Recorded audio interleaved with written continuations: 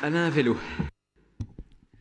Oui, euh, une remarque en commençant. Il est vraiment piquant d'entendre une socialiste dire euh, à LR qu'il y a eu une déroute électorale. C'est amusant. Il est aussi, comme il était amusant d'ailleurs hier, d'entendre parler de recul de notre mouvement politique quand notre candidate a réuni sur son nom près de 11 millions de suffrages.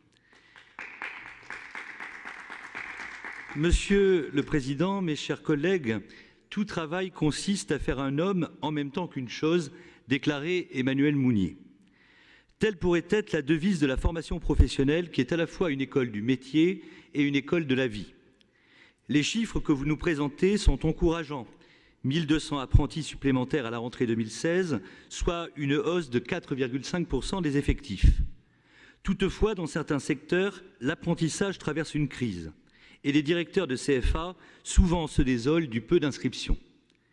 Au CFA du bâtiment d'Angers, par exemple, on enregistre une baisse de 20% des préinscrits pour la rentrée 2017. En peinture, le nombre a été divisé par deux. Cette chute s'explique notamment par un ralentissement de l'activité des entreprises et donc de l'embauche d'apprentis. Nous approuvons le fait que la région, dans le but d'adapter les formations à l'offre sur le marché du travail, prenne en considération les besoins réels des entreprises en se basant sur les lettres d'engagement d'employeurs pour recruter les apprentis, avant d'émettre un avis favorable aux nouvelles demandes de formation. Nous approuvons le fait que la carte des formations s'appuie sur les nouveaux besoins dans certains secteurs économiques, porteurs comme le son, l'économie numérique, l'agriculture, l'agroalimentaire ou les filières industrielles, par exemple. D'autres pistes nous semblent toutefois pour une adaptation optimale à examiner. Nous le savons, les TPE-PME sont souvent entravées dans leur recherche d'apprentis, en ceci qu'elles ne savent pas toujours bien à qui s'adresser pour trouver un apprenti. Ainsi, le portail numérique de l'apprentissage, à l'usage des apprentis que vous lancez, ne pourrait-il pas faciliter de façon bilatérale la mise en relation des apprentis avec les entreprises qui cherchent à embaucher? Il faudrait aussi que ces entreprises puissent bénéficier des mêmes outils sur ce portail, simulateur des aides, réglementation administrative, que les apprentis eux-mêmes. En outre, les TPE-PME étant souvent dépourvues de direction des ressources humaines, elles devraient pouvoir profiter des services du Conseil de l'OPCA de branche ou de l'OPCA interprofessionnel et interbranche au plus près de la réalité territoriale, quel que soit leur effort contributif.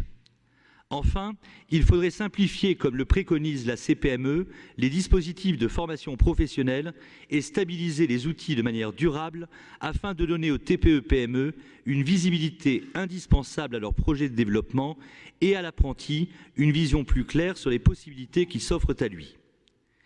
Comme vous le savez, nous soutenons vos mesures de valorisation de l'apprentissage, apprentibus, ambassadeur de l'apprentissage, olympiade des métiers, etc. Ces mesures vont incontestablement dans le bon sens, du fait du sérieux déficit d'image dont souffre la voie professionnelle. Les parents et les jeunes ont toujours en effet trop tendance à considérer les filières générales comme seule voie d'excellence. Et les parents veulent souvent que leurs enfants obtiennent le bac avant de s'orienter vers la voie professionnelle. C'est pourquoi, outre la présentation aux élèves de ces formations et de leurs débouchés, il importe, selon nous, de sensibiliser les professeurs qui ont bien souvent le réflexe de pousser à tout prix les jeunes qui ont de bonnes notes vers les filières générales, même quand ceux-ci ont un projet professionnel. Cela détruit les vocations, installe une orientation, sinon par l'échec, du moins par défaut, et participe du déficit d'image que je mentionnais. Mais se pose également le problème du niveau de connaissance des jeunes qui s'orientent vers la voie professionnelle via le CAP. D'après Jean-Pierre Boisivon, auteur d'une analyse sur l'apprentissage, près de la moitié des 40% d'élèves qui empruntent cette voie rencontrent de sérieuses difficultés en lecture, écriture et calcul. Leur niveau de compétence dans ces savoirs fondamentaux ne correspond pas aux exigences des entreprises qui recrutent donc en priorité des apprentis du supérieur. La solution serait de, proposer un SAS entre la sortie du collège et l'entrée dans l'enseignement professionnel, consacré à la remédiation scolaire. Car on ne peut aujourd'hui apprendre un métier validé sur le marché du travail quand on ne maîtrise pas les compétences scolaires de base. Outre la formation professionnelle stricto sensu, il nous semble non seulement légitime, mais plus encore nécessaire que les CFA visent également à enrichir la culture générale des jeunes qui leur sont confiés. À ce titre, ont été votées des propositions intéressantes, notamment une action éducative concernant la commémoration de la Grande Guerre. En revanche, nous nous montrons plus circonspects quant à d'autres actions éducatives relevant de la repentance mémorielle, notamment celles portant sur l'esclavage. L'éducation et la formation ayant au nombre de leurs vocations majeures celle de favoriser l'assimilation, j'y reviens, de tous à la nation, de telles actions sont éminemment contestables, en ceci qu'elles favorisent au contraire les communautarismes qui menacent l'unité nationale. Que dire par ailleurs des crédits versés pour les séjours en Europe, dont le but affiché est de permettre aux apprentis de confronter leurs pratiques professionnelles avec celles en œuvre dans d'autres pays? Objectif bien vague, on en conviendra. Sans doute notre collectivité serait-elle mieux avisée de s'assurer de ce que ces voyages ont réellement, sont réellement formateurs. Enfin, un autre dispositif voté en mars 2017 nous a particulièrement inquiétés. Il s'agit du dispositif Prépa-Rebond, qui vise à soutenir à la fois la formation et l'intégration sociale des jeunes issus des quartiers. Si l'objectif est évidemment louable, nous refusons en revanche que notre collectivité cautionne d'une façon ou d'une autre la ruineuse politique de la ville laquelle n'a jamais résolu ni les problèmes de chômage, ni ceux de la délinquance. Comme nous refusons catégoriquement les orientations idéologiques de la charte de la diversité et des origines en entreprise, laquelle vise à instaurer une discrimination prétendument positive en fonction en réalité de l'origine ethnique. Une fois pour toutes, la discrimination positive, c'est la négation pure et simple de l'égalité républicaine. Enfin, Monsieur le Président, il est sans aucun doute utile de le répéter, toutes les mesures que notre collectivité mettra en œuvre en faveur de l'apprentissage continueront invariablement à se heurter à deux écueils majeurs. En premier lieu, la désindustrialisation qui casse la dynamique économique, produit inexorablement du chômage et freine l'embauche des apprentis. L'année dernière, vous avez reçu les responsables de STX pour confirmer l'engagement régional d'assurer le financement dès 2016 de la formation professionnelle continue de 750 demandeurs d'emploi sur le bassin nazérien et de doubler le nombre de formations courtes d'adaptation à l'emploi. Que dira-t-on aux apprentis le jour où l'on n'aura plus besoin d'eux car Fincantieri, partenaire de China State Building, décidera de délocaliser une partie de la production en Chine?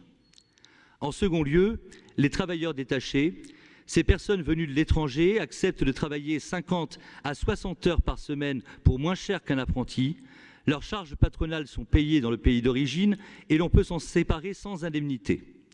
Dans cette affaire, nous n'accusons pas l'entrepreneur des BTP, des transports ou des chantiers navals assommés de charges sociales qui a recours à cette main-d'œuvre pour faire tourner son entreprise. Nous n'accusons pas non plus le travailleur étranger en tant que tel qui accepte une tâche difficile pour un salaire de misère. Cependant, cette délocalisation à domicile est une concurrence déloyale qui nuit gravement à l'emploi français.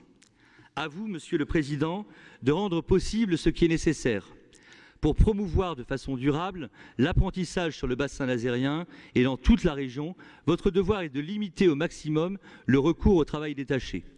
Vous avez fait appliquer la clause Molière pour le lycée Ambroise Paré de Laval. Nous vous encourageons à faire systématiquement appliquer cette clause, à tous les marchés publics régionaux. Monsieur le Président, très chers collègues, je vous remercie de votre attention. Merci. Je vais passer la parole euh, à André Martin, puis ensuite euh, à Christelle Morancel. Pour terminer, euh, juste rassurer euh, euh, je crois que c'est Monsieur Avello qui s'interrogeait sur Prépa-Rebond. Prépa-Rebond n'a pas de frontières. Il dépasse les périphériques des métropoles régionales. venez dans, le cœur des Mauges, venez dans le cœur du bocage vendéen. On vous montrera qu'on est capable de faire du prépa-rebond en milieu rural et que ce n'est pas un prolongement de la politique de la ville des uns et des autres. Voilà pour l'essentiel de ce que je voulais euh, amener comme élément de réponse à mes collègues. Je pense que j'ai fait le tour, mais Madame la vice-présidente, vous aurez peut-être. Merci, tout cela a été très complet. Merci André Martin. Et je passe maintenant la parole. Je passe la parole à Christelle Morancet. Euh, Monsieur euh, Avello, Vous évoquez en effet le secteur du bâtiment au niveau de l'apprentissage. Je vous rejoins. J'ai rencontré plusieurs directeurs de, CFA du, BTP. Et dans l'article justement du, du Ouest France du, du, 6 juin, eux-mêmes le disent, il y a quelques années, les années qui étaient un peu difficiles dans le bâtiment, euh, ils ont hésité à recruter. Et aujourd'hui, on paie justement euh, euh, ces, années qui ont, qui, ont, été, qui stoppées. Donc, on, a cassé la dynamique. L'objectif, c'est il faut un travail. Tous les CFA du BTP, quels que soient les départements, font un vrai travail de communication, utilisent beaucoup le portail de l'apprentissage, et puis de redonner confiance justement aux familles et aux jeunes pour rejoindre cette filière qui. Euh, vous évoquez, alors le président l'avait dit en, début de séance, il y a une vraie dynamique en Pays de la Loire, mais elle ne suffira pas. Il y a vraiment des, verrous à lever au niveau national. C'est l'objet du, rendez-vous euh, que, nous aurons la semaine prochaine avec euh, l'Association des, régions de, de France pour être fort de propositions.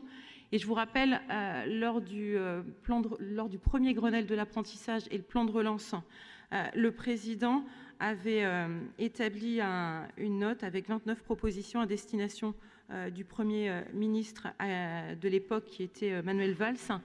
Ces propositions vont être également retransmises au nouveau gouvernement.